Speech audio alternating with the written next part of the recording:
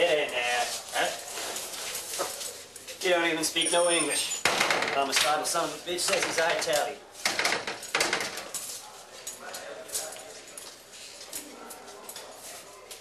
And why don't you take a flight?